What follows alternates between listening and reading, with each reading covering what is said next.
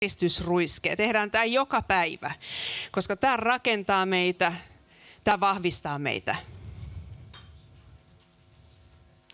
Eli kaikki, toistakaa mun perässä vahvasti.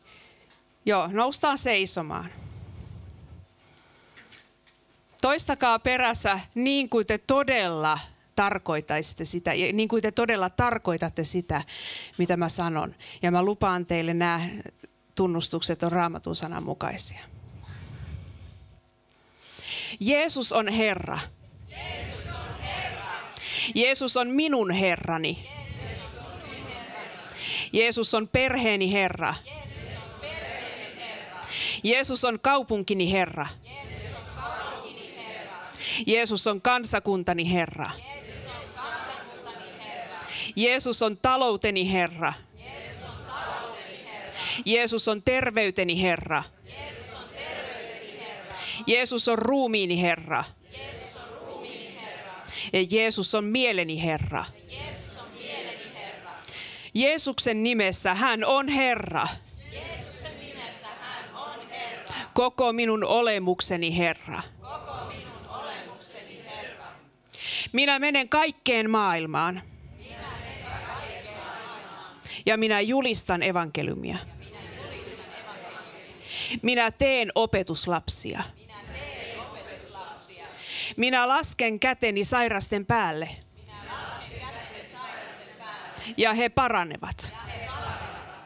Puhun uusilla kielillä. Ale, ajan ulos pahoja henkiä. Jos juon jotain kuolettavaa, Jos juon jotain kuolettavaa, se ei vahingoita minua. se ei vahingoita minua. Suurempi on hän, on hän, joka on minussa, kuin se, joka on maailmassa. Kohtelen lähimmäisiäni niin kuin haluan itseäni kohdeltavan.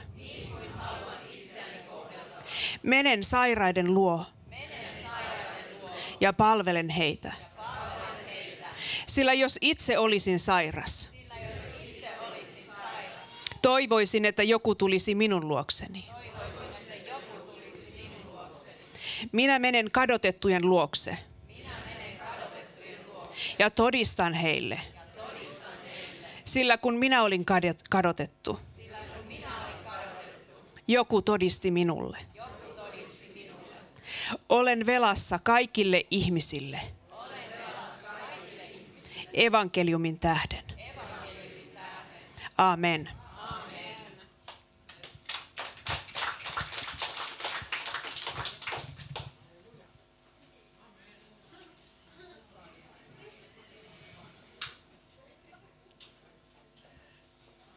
Amen. Good afternoon. Aamen. Hyvää iltapäivää. Everyone good? Kaikilla hommat hyvin? Yeah, good food? Hyvää ruokaa? Yeah, good food? Joo, hyvää ruokaa, yes. Yeah, no sleeping. Ei nukkumista nyt. There's a fine for sleeping. Siitä tulee ää, sakkoa, jos nukkuu. Yeah, serious. 50 Ihan euros. Fine. 50 euroa maksaa, jos nukahdat. Yeah. Mm. Amen. Praise God. Well, well, well, we'll trust that the Holy Spirit will keep us alive. Luotetaan siihen, että pyhä henki pitää meidät hereillä ja elossa. Amen. Thank you, Chris, for earlier. Kiitos Chris aiemmasta. And um, what we're going to do, we're going to continue to go through the manual. Ja nyt me jatketaan, mennään tätä manuaalia. And um, by the end of these three days, Ja näiden kolmen päivän päätteeksi we need to become confident meidän tulee tulla varmoiksi in ministering freedom siinä, että me void- me voidaan palvella vapautta to a hurting world. kärsivälle maailmalle. Amen. Jesus has commissioned us to go into the world. Jeesus on lähettänyt meidät menemään kaikkeen maailmaan. And he's called us to be fishers of men. Ja hän on kutsunut meidät ihmisten kalastajiksi. Amen. And what he's given us, he's given us healing as a sign to advertise the kingdom of God. Ja hän on antanut meille parantamisen merkiksi, että me voidaan va- mainostaa Jumalan valtakuntaa. Amen. These signs shall follow those that believe. Nämä merkit seuraavat niitä, jotka uskovat. Say this when we say, I am Sano mun perässä, minä olen into marketing. Markkinointiin, markkinoinnissa mukana. Amen. Amen. We are all, all of us are into marketing because we're marketing the kingdom of God. Me ollaan kaikki mukana markkinoinnissa. Me markkinoimme Jumalan valtakuntaa. That's why Jesus said, These signs shall follow those that believe. Siksi Jeesus sanoi, että nämä merkit seuraavat niitä, jotka uskovat. Amen. Amen. So as we go into our world, we will encounter sick people. Ja kun me kuljetaan meidän maailmassa, niin me kohdataan sairaita ihmisiä.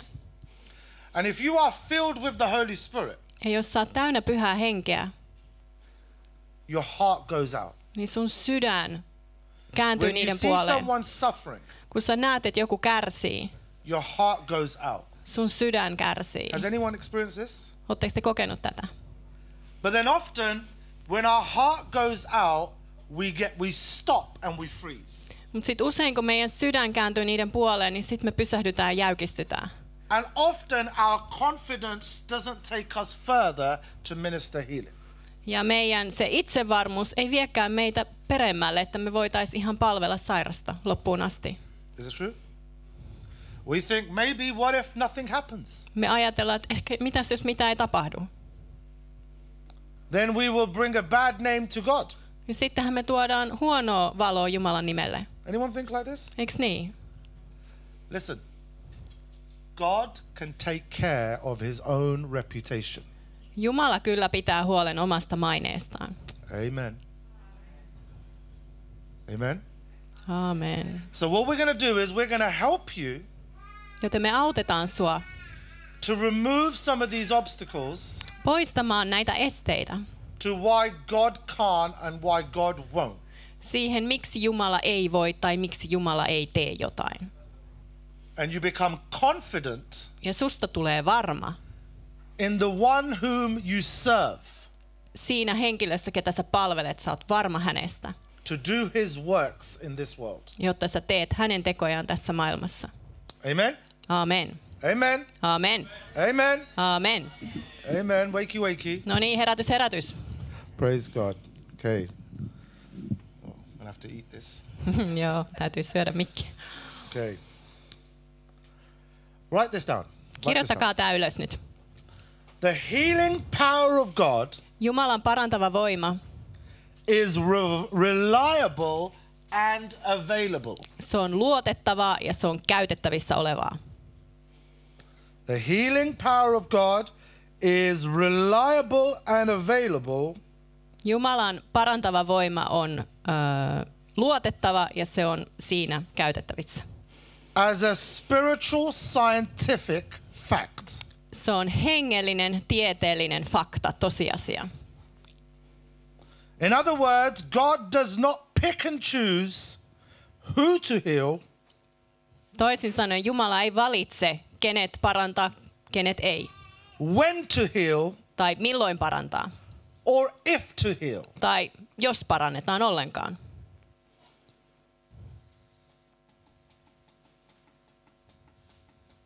Amen.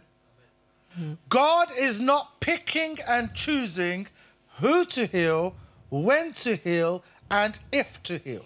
Eli Jumala ei ole siellä valitsemassa, kenet parantaa, milloin parantaa ja parannetaanko ollenkaan. So there's some things you're going to discover in this seminar Niin on joitain asioita, mitä te tuutte tajuamaan nyt seminaarin aikana. because we are now living on this side of the cross. Koska nyt me eletään tällä puolella ristiä. The cross solved a lot of problems. Risti ratkaisi monta ongelmaa. Amen. Most people are living on that side of the cross. Useimmat ihmiset elävät edelleen ristin sillä puolella. But when Jesus came and the cross came, Mutta kun Jeesus tuli ja tuli ristin aika, we are now on this side of the cross. The cross has settled some things. me ollaan nyt ristin tällä puolella ja ristillä asetettiin tietyt asiat. Ne on niin. And one of the things the cross has settled Ja yksi asia, minkä risti hoiti homman loppuun asti on, is he, God, is not holding healing from anybody. on se, että Jumala ei pidätä parantumista kenenkään kohdalla. As a matter of fact, Tosiasiassa by the stripes of Jesus Christ, Jeesuksen Kristuksen haavojen kautta we were healed. meidät parannettiin. If we were healed, Jos meidät parannettiin, we are healed. meidät, me ollaan nyt terveitä, meidät on parannettu. So we're not trying to convince God to come. Oh Lord, please come and please heal. Please, please. No, no, no. Eli me ei yritetä vakuuttaa Jumalaa, että hei please, tule please, paranna please. You're living on that side of the cross. Silloin sä elät ristin sillä puolella. There's no beggars in the kingdom of God. Jumalan valtakunnassa ei ole ker- kerjuu ihmisiä. Write that down. Kirjoita tämä ylös. Kerjäläisiä. That's one amen. Yksi aamen tuli. There's no beggars in the kingdom of God. Jumalan valtakunnassa ei ole kerjäläisiä, There's sons and daughters in the kingdom of God. vaan Jumalan valtakunnassa on poikia ja tyttäriä. Amen. Are you with me? Amen. So we're looking at things slightly different. Joten me katsotaan nyt asioita hiukan eri näkökulmasta. Amen. The reason you cannot stop healing the sick Syy siihen, miksi sä et voi estää sairaiden parantamista. because the enemy does not stop putting sickness on people. Siis vihollinen ei lakkaa pistämästä sairauksia ihmisten ylle. Amen. This has to become more than an event. Tästä täytyy tulla enemmän kuin yksi tapahtuma. This has to become your life. Tästä pitää tulla sun elämä. Amen. Aamen. Yeah, it's no longer an event. You come to me, we have a healing meeting. Yeah, we show you how wonderful anointed we are. Ei enää niin, että hei tulkaa mun luo, me näytetään kuinka mahtavasti voideltuja me ollaan. Tulkaa katsomaan mitä mä teen. This seminar is not to show you how anointed we are. Tämän seminaarin tarkoitus ei ole näyttää kuinka voideltuja me ollaan, This seminar is designed to show you how anointed you are. vaan tämä on suunniteltu niin, että se sinä näet kuinka voideltu sinä olet, Amen. Amen. So you can go into your world and bring freedom. jotta sä voit mennä sinne sun omaan arkeen ja maailmaan ja tuoda sinne vapauden. Hallelujah. Halleluja. Hallelujah. Halleluja. Thank you, Jesus. Kiitos Jeesus. Amen. Smile a little bit. Joo, hymyilkäs vähän. Do we need a coffee? Coffee? Tarvitaan kahvia. Espresso? Are we No. Okay? Okay, look Ollaan at. Okay, let's go to the manual. Let's go to the manual. Mennään nyt manuaaliin. Let's go to page 15. Mennään sivulle move on. 15. Then we're going to move on. Page Ja sitten 15. jatketaan. 15. How many people have been um, interested in ministering healing to other people? Kuinka moni teistä on ollut kiinnostunut siitä, että voisi palvella sairaita? Brilliant. You know, this is amazing. This is Upeeta, amazing. mahtavaa. Um, because this is God's heart. Sillä tämä on Jumalan sydämen asia. You know, the very fact that you want to bring healing into somebody Se tosiasia, että sä haluat tuoda jollekin terveyttä, parantumista, is a work of the Holy Spirit. on pyhän hengen teko. Amen. Aamen. That's the Holy Spirit working because. Okay, we'll, we'll go further. Se on pyhä henki, joka 15, tekee sitä 15, siellä. No niin, nyt sivu 15. 15. It says there's only two reasons for failure. Syitä epäonnistumiselle on kaksi. How many reasons? Kuinka monta näitä syitä nyt on? Kaksi. Do this. Do this with me. Two. Kaksi. Two, yeah? Yeah. Two reasons. Kaksi syytä. Jesus only gave two reasons for failure. Jeesus antoi kaksi syytä sille, miksi epäonnistutaan. Open your Bibles to Matthew chapter 17. Mennään Matteuksen evankeliumiin 17. lukuun. And we're going to have a look at this story later, but I just wanted to cover these two points to begin with. Katsotaan tätä kertomusta sitten myöhemmin, mutta haluan nyt kattaa nämä kaksi pointtia. Matthew 17, verse 19. Matteus 17 ja 19. And it says, Then came the disciples to Jesus apart and said, Why could we not cast him out? Sitten opetuslapset menivät Jeesuksen tykö eriksensä ja sanoivat, miksi emme me voineet ajaa sitä ulos. This was the time when Jesus was transfigured, Tämä oli se aika, kun Jeesus oli kirkastettu. And his, some of his disciples were at the bottom. Ja osa mountain. hänen opetuslapsista oli vielä siellä vuoren the story? alla, siellä And this alhaalla. man brought his son to the disciples of Jesus. Ja sitten tämä mies toi poikansa Jeesuksen opetuslapsille. And they could not get this boy free. Ja ne ei saanut tätä poikaa vapautettua. So the father of this boy Joten tämän pojan isä comes to Jesus. tulee Jeesuksen luo. Long story short, Jesus sets him free. No, pitkästä tarinasta lyhyt. Jeesus vapauttaa pojan. Yeah, are you with me? Mm-hmm. The disciples could not get the boy free, Opetuslapset ei onnistunut vapauttamaan poikaa, but Jesus got the boy free. mutta Jeesus vapautti pojan. So the disciples asked Jesus, What happened? What Joten- happened? Opetuslapset sitten kysyy Jeesukselta, no mitä tässä nyt tapahtuu? And Jesus, verse 20, and Jesus said, Because of your unbelief. Ja sitten jae 20 Jeesus sanoo teidän epäuskonne tähden. Say this, we say unbelief. Sanokaa epäusko, Epauska. epäusko, Unbelief.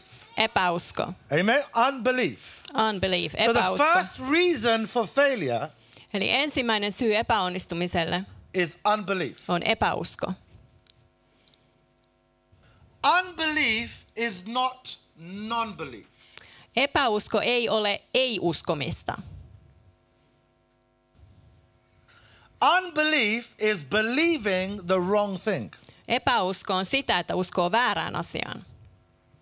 Are you with me? Ymmärrättekö te?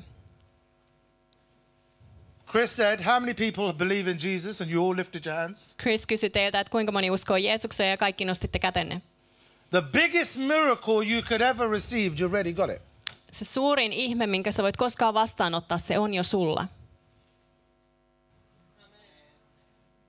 Amen. So this is not an issue of faith. Eli kyse nyt ei ole uskosta. Say to say, I have faith. Sano, minulla on usko. I have faith. Minulla on usko. I'm a believer. Minä olen uskova. I have faith. Minulla on usko. So this is not an issue of faith Eli kyse nyt ei ole uskon asiasta. because we've already received the biggest miracle we could ever receive. Sillä me ollaan jo vastaanotettu kaikkein suurin ihme, minkä voi vastaanottaa. But it's unbelief, Nyt on kyse epäuskosta. believing the wrong thing. Siitä, että uskoo väärin asioihin. So the first reason for failure Eli ensimmäinen syy epäonnistumiselle is not sin. ei ole synti. Do you know somebody can have sin in their life Jollain voi olla syntiä elämässä and they can still get free? ja silti he voivat vapautua. Think about it. Ajattele. Everyone Jesus healed. Jokainen, jonka Jeesus paransi, Nobody was born again. Kukaan niistä ei ollut uudesti syntynyt, because the price of salvation was not paid. sillä pelastuksen hinta ei ollut vielä maksettu. Everyone Jesus ministered to Jokainen, jota Jeesus palveli, had a, they had the sin nature on the inside of them, ne, niillä oli synti luonne sisällään, but yet they got healed. mutta silti he parantuivat. Sin will not stop the power of God from flowing. Synti ei estä Jumalan voimaa virtaamasta. Actually, the Bible says the goodness of God leads to repentance. Raamattu sanoi, että Jumalan hyvyys johtaa parannuksen tekoon. So when someone is away from God, not knowing God, Joten kun joku on poissa Jumalan luota, ei tunne Jumalaa, the goodness of God by them being healed niin Jumalan hyvyys siinä, että he parantuvat, will cause them to repentance. saa aikaan sen, että he tekevät parannuksen. Hallelujah. Halleluja. We do not get healed because we are good. Me ei parannuta siksi, että me ollaan hyviä. We get healed because Jesus and God is good. Me parannutaan siksi, että Jeesus ja Jumala ovat hyviä. Amen. Amen. If we got healed based on how good we were, we're all in trouble. Jos me parannuttaisiin sen perusteella, kuinka hyviä me ollaan, niin kaikki me oltaisiin hankaluuksissa. Amen. Amen. Yeah, so God is good. Jumala on hyvä. And when we minister healing, Ja kun me palvellaan sairaita, there's only two reasons for failure. One is what? Unbelief. on kaksi syytä epäonnistumiseen ja toinen on se epäusko. Notice Jesus did not rebuke the child or its father. Huomaa, että Jeesus ei nuhdellut lasta eikä lapsen isää. He told his disciples it's because of your unbelief that you could not get this child free. Vaan hän sanoi opetuslapsille, että se on teidän epäuskonne takia, miksi tämä poika ei vapautunut. So what's the first reason? No mikä se eka syy nyt on? Unbelief. Epäusko. The second reason, write this down. This is in the manual, page No, tämä on siellä 15. manuaalissa sivu 15. No toinen Mark syy. 7, verse 13. Markus 7 ja 13. It says, making the word of God of non effect through your traditions, which you have delivered, and many such like things do ye. Te teette Jumalan sanan tyhjäksi perinnäissäännöllänne, jonka olette säätäneet, ja paljon muuta samankaltaista te teette. The second reason for failure Toinen syy epäonnistumiselle is the traditions of man. on ihmisten perinteet. Jesus said, Your traditions have made the word of God of non effect. Jeesus sanoi, että teidän perinnäissäännöillä te olette saattanut Jumalan sanan voimattomaksi. So, this is what we do. Tätä me tehdään. Throughout next session and the session after, we're trying to, we're going to start removing the traditions of men. Eli nyt tässä sessiossa ja seuraavissa me aletaan siirtää, poistaa teistä näistä, näitä ihmisten perinnäissääntöjä, perinteitä. Wrong teaching creates wrong believing. Väärä opetus luo vääränlaista uskoa. Right teaching will create right believing. Ja oikea opetus luo oikeanlaista uskoa. This is what we're here to do. Ja sitä me ollaan täällä nyt tekemässä. And um, sometimes we've heard wrong teaching, Joskus me ollaan kuultu väärää opetusta. And when somebody comes and shows us that this is wrong teaching, Ja sitten kun joku tulee ja näyttää meille, että hei, tämä on nyt väärää opetusta, it can upset us. niin meille tull, me mennään pois tolaltamme. 2008. 2008, 2009, I'd say. No, 2009. yeah. 2009 I started listening to Brother, Brother Curry. aloin kuunnella veli Currya. I'd been a Christian 11th of June 1994. Vuodesta 1994 kesäkuun 11 on ollut siitä lähtien kristitty. As a 17 year old boy, 17-vuotiaana poikana I surrendered my life to Jesus annoin elämäni Jeesukselle and I started following the Lord. ja aloin seurata Herraa. I was so fortunate because I had family members that took me almost straight away on mission trips. Mä olin niin onnekas, että mulla oli perheenjäseniä, jotka melkein heti vei mut lähetysmatkoille mukaan. And being a young boy, we saw blind eyes open, Ja kun mä olin nuori poika, mä näin, kuinka sokeat silmät we saw the lame healed, Näin, kuinka rammat parani. we saw all different types of conditions being, being healed. Ja näin, kuinka erilaiset sairaudet parani. I went to Bible school, Menin, kävin raamattokoulun, was in ministry. olin palvelutyössä. So around about 2008, I came across the DHT teaching. Ja vuonna 2008 mun polulle tuli tämä DHT-opetus. So I was a believer before this time. Eli olin uskova ennen tätä aikaa. We were also seeing results before this time. Ja ennen sitä aikaa näimme tuloksia. But when I started listening to Brother, Brother Curry, it really made me angry. Mutta kun mä aloin kuunnella veli Currya, se sai mut todella suuttuna, Because suuttumaan. with the good teaching, there was also some wrong teaching mixed. Sillä sen hyvän opetuksen keskellä oli myös väärää opetusta sekaisin siellä. And I had to make a decision. Ja mun piti tehdä päätös. Am I going to follow the word of God or follow my traditions? Seuraanko mä nyt Jumalan sanaa vai seuraanko mä mun omia perinteitä? Have a guess what? No mitä sulle te, että valitsin? Have a guess what decision I made. Minkäs päätöksen tein? I made a decision that I'm going to follow the word of God. Päätin seurata Jumalan sanaa. Amen. Amen. So that meant there were some things I was believing Tämä tarkoitti sitä, että oli tiettyjä asioita, joita uskoin just because of experience. vain kokemuksen perusteella. Just because my favorite teacher said these things. Vaan siksi, että mun lempiopettaja oli opettanut niin. But when I started searching the word of God, Mutta kun mä aloin tutkia Jumalan sanaa, they were not in the word of God. niitä ei löytynyt sieltä. What they actually were were traditions of men. Ja todellisuudessa ne oli näitä ihmisten perinteitä. And the second reason for failure is that the traditions of men make the word of God of non effect. Ja toinen syy epäonnistumiselle on tämä, että ihmisten perinteet tekee Jumalan sanasta voimattoman. Are you with me? Ymmärretään So we're tämä. going to remove these traditions. Joten nyt me poistetaan näitä perinteitä. And you're going to try hold on to them. Ja te yritätte pitää niistä kovaa kiinni, And I'm going to try move them. mutta mä yritän repiä ne Yeah, teistä irti. Te pidätte kiinni. But the Holy Spirit is on my side. Pyhä henki on mun puolella. Are you with me? See, let's, let's go back to the word of God. Mennään takaisin Jumalan sanaan. If it's in the word of God, let's do it. Jos se on Jumalan sanassa, niin sitten me voidaan toimia sen mukaan. If it's not in the word of God, let's throw it. Jos se ei löydy Jumalan sanasta, heitetään pois. Amen. Eiks niin? That's one amen. Amen. Yksi aamen. Aamen. Yeah, are we, we? we- are Bible believers here, right? We're not Me, Jehovah's Witness. me We're ollaan nyt raamattu uskovia. Yes, me ei olla Jehovan todistajia. Yeah, we believe the word of God. Me uskotaan Jumalan sanaan. And if it's in the Word of God, we do it. Ja jos se on Jumalan sanassa, niin me toimitaan sen If mukaan. it's not in the Word of God, we're not interested. Jos se ei löydy sanasta, meitä ei kiinnosta. Say to say, my loyalty Sanokaa, mun uskollisuus is to Jesus Christ on Jeesusta Kristusta kohtaan and His Word. ja hänen sanansa kohtaan. Amen. Aamen. So, what are the two reasons for failure? Jotka, miten ne on, mitkä ne on ne kaksi syytä epäonnistumiselle? Epäusko, And traditions of ihmisten perinteet, ihmisten tekemät perinteet, ideas. ihmisten omat ajatukset, ihmisten omat filosofiat.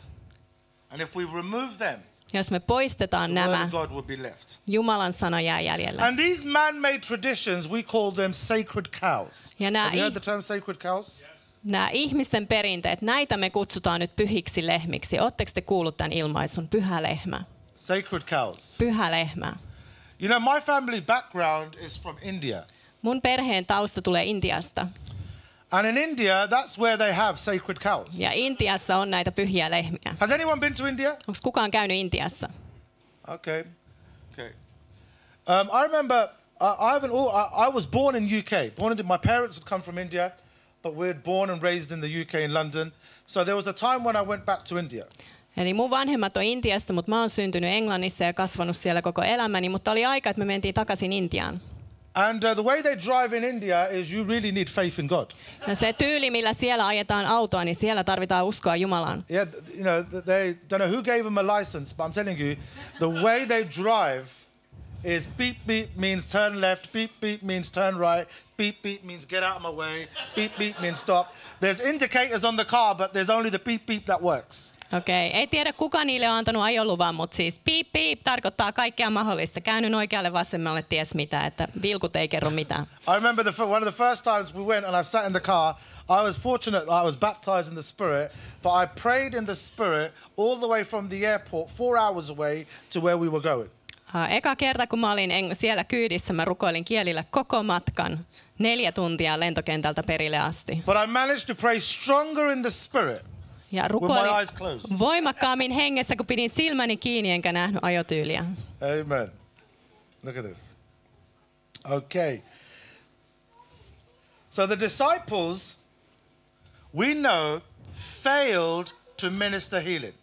Eli opetuslapset epäonnistuivat tässä parantamisen palvelemisessa. And Jesus said the traditions of men. Amen. Ja Jeesus sanoi, että ihmisten perinteet oli esteenä.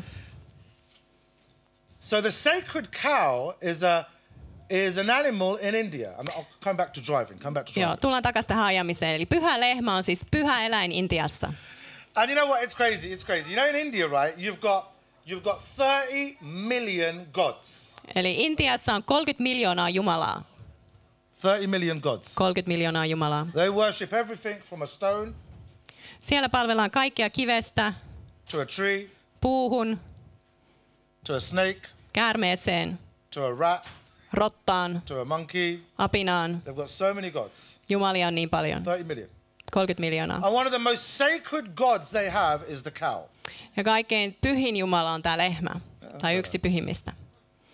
And um, if you're driving on the motorway, this is true. Ja tämä on nyt totta, jos ajat siellä moottoritiellä, You're driving on the motorway and a cow comes in front. ja sitten lehmä tulee eteen, And your family is in the back of your car. ja sun perhe on siellä takapenkillä kyydissä. You must swerve the car and put your family in danger, then kill that cow. Sun pitää kovasti kaartaa ja panna sun perheesi vaaraan väistääksesi sen lehmän. Because if you kill the cow, you end up in prison. Sillä jos sä tapat sen lehmän, sä joudut vankilaan. It's a holy cow. Pyhä lehmä. It's a true story. Tosi tarina. If you're a train driver, Jos sä oot this is, what, junakuski, this is that's happened. näin käy. You're a train driver and you've got a, a train full of passengers, Ja sit sulla on juna täynnä matkustajia. and all of a sudden, this cow comes onto the train track. Ja yhtäkkiä sitten tällainen lehmä tulee raiteille. The driver of the train has to push his emergency brakes Niin junakuskin täytyy hätäjarruttaa, that may result in derailing the train joka voi johtaa siihen, että juna suistuu raiteilta. just to save that cow, Vain pelastaakseen sen lehmän but put the life and danger ja pistää sitten henget vaaraan. Kaikkien matkustajien henget vaaraan. Eikö se hullua? The holy cow. Pyhä lehmä. It's a sacred cow. Pyhä Yeah, they lehmä. just wander around anywhere. Siellä ne vaan vaeltaa missä you know, vaan. In India, right, you have McDonald's, Intiassa on McDonald's, but you don't have beef burgers mutta siellä ei ole ää, nautapihvejä, because you're not allowed to eat beef in India koska Intiassa ei saa syödä naudan lihaa, because of the sacred cow. koska on pyhä lehmä. Isn't that crazy? Eikö se hullua? Watch this. Katos tätä. As big as India is, Niin suuri kuin Intia on, and as marvelous, if you've never been there, go. It's a marvelous country. ja kuinka mahtava se on, jos et ole koskaan käynyt, niin pitäisi mennä. There's so much poverty. Siellä on niin paljon köyhyyttä. People are hungry and starving in India, Ihmiset on nälkäisiä nääntymässä Intiassa, but yet there's cows roaming around. mutta silti siellä on näitä lehmiä, jotka vaeltaa ympäriinsä. The very thing Just se asia, that God put in that country to feed them people jonka Jumala laittoi siihen maahan, että ihmiset sais ruokaa. is holding them people in bondage. Pidättää ne ihmiset vankeuksissa, sidottuina. Tällainen on pyhä lehmä. The very scriptures God has put in His Word. Ja nämä raamatun kohdat, mitkä Jumala on laittanut sanaansa, päästääkseen meidät vapaaksi. The devil has used them scriptures and held us in bondage. Vihollinen on käyttänyt näitä raamatun kohtia pitääkseen meidät vankeina. Siksi näitä kutsutaan pyhä lehmäkirjoituksiksi. But the good news is we're going to barbecue some sacred cows. Mutta hyvät uutiset on, että nyt vähän grillataan Amen. We're pyhiä going to take that lehmiä. head off Otetaan pää pois and barbecue some sacred cows. ja grillataan pyhiä lehmiä. Amen. Amen. To feed off the word of God. Ja sitten me syödään Jumalan sanaa. Are you with me, guys? Oletteko te mukana? So any doctrine that teaches that God can't and God will not is a false doctrine. Eli mikä tahansa oppi, joka opettaa, että Jumala ei halua, ei voi, on väärä oppi. We're going to look at this. Tätä me tullaan nyt tutkimaan. Healing is God's idea. Parantaminen on täysin Jumalan juttu, Jumalan idea. Amen. Amen. From the very beginning, we can see that it's God's idea. Aivan alusta asti me voidaan nähdä, että se on He, God Jumalan even ajatus. revealed himself as Jehovah Rapha. Jumala ilmaisi itsensä Jehona, Jeho, Jehova Raffana. Amen. That God's revealed his name and character. Hän on paljastanut nimensä ja luonteen piirteensä. Don't you ever think that you desire healing more than God. Älä koskaan kuvittele, että sä haluat parantumista enemmän kuin Jumala. You don't yet know God. Sä et sit tunne vielä Jumalaa. God desires to bring healing and freedom to every person on this planet. Jumala haluaa tuoda terveyden ja vapauden joka ikiselle ihmiselle tällä And the planeetalla. good news is it's already paid for. Ja hyvät uutiset on, että hinta on jo maksettu. And all we're teaching you this week is how to become a delivery person. Ja nyt tällä viikolla opetetaan teitä, miten te voitte olla näitä sananjejä. Say this, I'm a post postman. Sano, että minä olen postin jakaja. Yeah, I work in delivery. Mä olen tässä toimitusbisneksessä. Amen. Yeah, we deliver what Jesus has already paid for. Me tuodaan perille se, mitä Jeesus on jo maksanut. Amen. Amen. Well, well, look at this. Okay, let's let's go to page 34. We're going to really start in the manual now. No nyt oikein aloitetaan täältä manuaalista. Mennään sivulle 34. Page 34, Sivu- section 4. Siellä osio 4, sivu 34.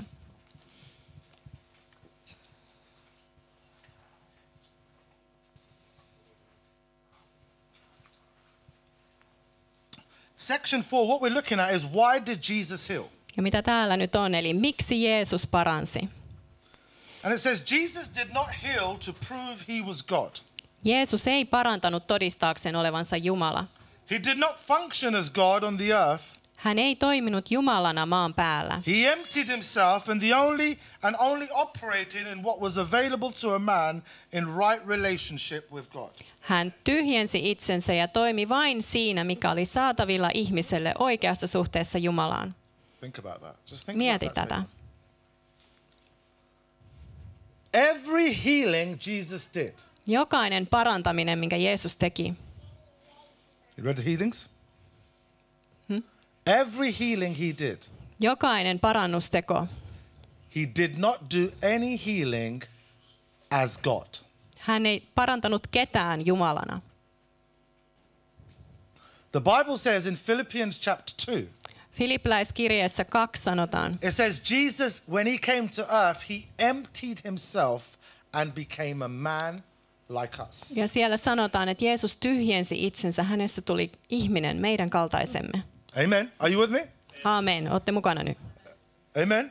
Joo. So to say, Jesus Sano Jeesus was a man oli ihminen, anointed by the Spirit of God. pyhän hengen voitelema. I am also a man Minä olen myös ihminen, anointed by the Spirit of God. jonka pyhä henki on voidellut. So that means whatever Jesus did, we can do. Ja tämä tarkoittaa sitä, mitä tahansa Jeesus teki, me voimme tehdä. Amen. Mm. Because otherwise, what happens is in our mind, it's, but that was Jesus. Koska muuten But meidän mielessä on Jesus. se ajatus, että "Mut This se oli. Jeesus, se oli Jeesus That ja nyt mä oon Jesus. minä. Se oli This. Jeesus, tämä on minä. Jesus Christ became the pattern son. Jeesuksesta, Kristuksesta tuli malli, mallipoika, meidän Say malli. say pattern son. Meidän mallipoikamme. That means our life should be patterned after him. Ja tämä tarkoittaa sitä, että meidän elämä tulee ottaa mallinsa Jeesuksesta. He came to show us what it looks like, how a man anointed with the Spirit of God looks like. Hän tuli näyttämään meille, miltä se näyttää, kun on ihminen Jumalan voitelema. Amen. And one thing we need to make sure is whose disciple are we? Nyt meidän täytyy selventää se, että kenen opetuslapsia me ollaan. We're going to look at this further. Are you Moses' disciple? Oletteko te Mooseksen opetuslapsia? Are you Elijah's disciple? Oletteko te Elian opetuslapsia? Or are you Jesus' Vai disciple? oletteko te Jeesuksen opetuslapsia? I'll tell you whose disciple I want to be. I Mä ainakin haluan olla want to be Jesus' disciple. Jeesuksen opetuslapsi. Ah, I like to read about Moses, On kiva lukea Mooseksesta, but Moses never died for me. mutta Mooses ei kuollut mun puolesta. I like Elijah, Mä tykkään Eliasta, but you know, Elijah never died for me. mutta ei Elia munkaan puolesta There was kuollut. only one worthy enough to die for me, Oli vain yksi arvoinen and kuolemaan his mun name is puolesta. Jesus Ja Christ, hän on Jeesus Kristus. and it's his disciple that I become. Ja hänen opetuslapsi minusta on tullut. And if I'm Jesus' disciple, I must act, behave, talk, and look like Jesus. Ja jos mä oon Jeesuksen opetuslapsi, mun tulee toimia, puhua, käyttäytyä kuin Jeesus. Amen. So we're going to minister, we minister healing to how Jesus ministered healing. Joten meidän tulee parantaa samalla tavalla kuin Jeesus. Amen.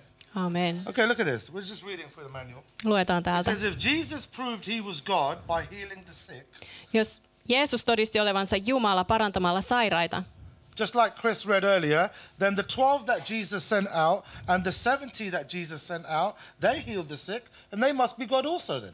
Joten silloin ne 12 ja 70 olivat myöskin Jumalia, sillä hekin paransivat sairaat, niin kuin Krista äsken kertoi.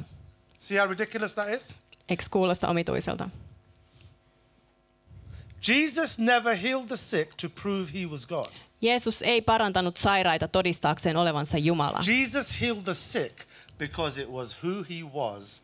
The character and the nature of God was flowing in him to bring healing and freedom to Vaan others. Jeesus paransi sen takia, että hän näytti toteen Jumalan luonteen piirteen. Hän antoi sen virrata itsestään ulos. Why did Jesus, what did Jesus come to do? No mitä Jeesus tuli tekemään? 1 John 3 8. Let's have a look at that. 1 1 John Johannes 3, 8. This is 3:8. straight in the manual. Suoraan manuaalista. It says, For he that committeth sin is of the devil. Joka syntiä tekee, se on perkeleestä. For the devil sinned from the beginning. For this purpose, the Son of God was manifested that he might destroy the works of the devil. Hallelujah. Sillä perkele on tehnyt syntiä alusta asti. Sitä varten Jumalan poika ilmestyi, että hän tekisi tyhjäksi perkeleen For teot. this purpose, Sitä varten the Son of God was manifested Jumalan poika ilmestyi, that he might what? Destroy the works of the devil. että hän tekisi mitä? Tekisi tyhjäksi perkeleen teot. And that word destroy is in Strong's 3089. Ja tämä sana tehdä tyhjäksi, se on Strongin konkordanssista That means untie, 3089, joka tarkoittaa, että release, aukaista side, päästää vapaaksi, no longer hold together. eikä enää pitää koossa. Amen. Jesus came to destroy the works of the devil. Jeesus tuli tekemään tyhjäksi perkeleen teot. Amen. Amen. Jesus came in you. Jeesus tuli sinuun. His purposes have not changed. Hänen tarkoitusperänsä eivät ole His muuttuneet. location has changed. Hänen äm, sijaintinsa on muuttunut. He was a man in Galilee, Hän oli mies Galileassa, but now he's in you. mutta nyt hän on sinussa. Christ in you, the Kristus hope of glory. sinussa, kirkkauden toivo. His location has changed, Sijainti on muuttunut, but his purposes are the same. mutta tarkoitusperät on So samat. now we destroy the works of the devil. Joten nyt me tehdään tyhjäksi perkeleen teot. Amen. Amen. For this purpose, the Son of God was manifested, Sitä varten Jumalan poika ilmestyi, that he might destroy the works of the devil. että hän tekisi tyhjäksi perkeleen teot. Amen. Amen. Say to say, I Sano minä, destroy tuhoan the works of the devil. Vihollisen teot. I'm a devil destroyer. Minä olen vihollisen tuhoaja. I'm a sickness destroyer. Minä olen sairauden I'm a tuhoaja. fear destroyer. Olen pelon tuhoaja. I'm a depression destroyer. Olen masennuksen I'm tuhoaja. a cancer destroyer. Olen syövän tuhoaja. Amen. Amen. This reason the Son of God was manifested, Täks, tästä syystä Jumalan poika ilmestyi, that he might destroy the works of the devil. että hän tekisi tyhjäksi vihollisen teot. Amen. Say this, I am a destroyer. Sano, minä olen tuhoaja. Say, sickness is scared of me. Ja sano, sairaus pelkää minua. Coronavirus is scared of me. Koronavirus pelkää minua. Cancer is scared of me. Syöpä pelkää minua. Amen. Amen. This is how heaven thinks of you. Näin taivas ajattelee This is sinusta. how the angels think of you. Näin enkelit ajattelee In sinusta. reality, the devils actually know this reality. Ja todellisuudessa kaikki demonit tietää tämän The todellisuuden. sad thing is the church has not wakened up. Mutta surullinen asia on, että seurakunta ei ole herännyt. Why Miksi? did Jesus heal? Jeesus paransi. We're going to have a look at this. Let's have a Katsotaan look tätä. at this. We look at, if you've got the manual, we'll just skim through. Jos teillä on se manuaali, mennään sieltä läpi. Matthew 9 35, it talks about laborers were ordained and commissioned because of the compassion. Matteus 9.35 kertoo siitä, miten työntekijät lähetettiin tämän myötätunnon takia. Matthew 14 14. Matteus 14.14. And it says, And Jesus went forth Ja siellä sanotaan, että Jeesus meni and saw a great multitude ja näki suuren kansanjoukon. and was moved with compassion towards them Ja hänen kävi heitä sääliksi and healed their sick. ja hän paransi heidän sairaansa. Amen. Amen. Passion, the love of God. Sääli, myötätunto, Jumalan rakkaus. He saw the need, Hän näki tarpeen. he saw the sick, Hän näki sairaat. but the love of God in him. Ja Jumalan rakkaus hänessä liikutti hänet. Matthew 20, 29, 34. Matteus 20, 29-34. this blind man was healed. Siellä kerrotaan, kuinka sokea parantui. Verse 34 So Jesus had compassion on them and touched their eyes, and immediately their eyes received sight. Siellä jäi 34, niin Jeesuksen tuli heitä sääli ja hän kosketti heidän silmiänsä ja kohta he saivat näkönsä. The leper in Mark 1:40. Spitaalinen Markus 1.40. It says, And Jesus was moved with compassion, Jeesuksen kävi häntä sääliksi. put forth his hand and touched him, Ojentaen kätensä hän and kosketti said häntä unto him, I will be thou clean. ja sanoi hänelle, minä tahdon, puhdistu. Mark 5.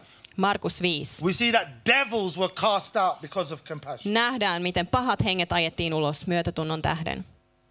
Amen. Amen. What is compassion? No mitä myötätunto on? Compassion is love in action. Se on rakkautta toiminnassa. Amen. You know, recently you had Valentine's Day, anyone? Eikö teillä ollut täälläkin? Yes, meillä oli ystävänpäivä. Um, just saying I love you sometimes doesn't work. Ja se, että sä vaan sanot, hei mä rakastan sua, niin se ei aina toimi.